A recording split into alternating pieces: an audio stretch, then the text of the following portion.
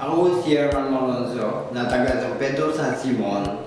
Eh, nagka, nagkano ko sa LBO dahil sa aking karamdaman.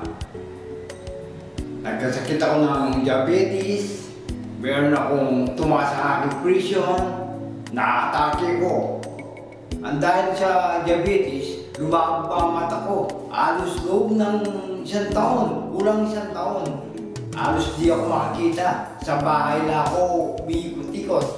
Bukod po sa, bukod po sa diabetes, na-presyon, na-stroke po ako.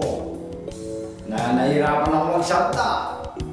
Nahirap. Sa aking pagkagalaw-galaw, nahirapan din po ako.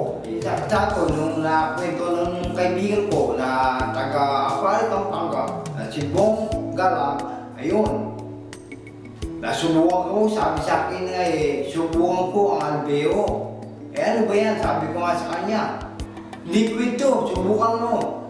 Baka maka, makaganda sa paningin mo, sabi sa akin. Ngayon sinubukan ko nga po ang to liquid na sinasabi niya.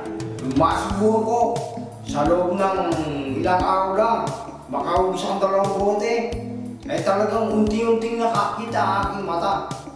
At ang aking alta presyon talaga, alos or laging pirmi, maganda ang ano, maganda ang puso ko.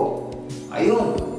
Tapos, nung ilang araw na yun, talagang tinuloy-tuloy ko ang aking pag-take ng ano, albeo. Eh, talagang maganda, maganda ang pakiramdam ko. Para saan lang kagalingan. Hulog ng langit kayo. I love Mayapuna. I love albeo.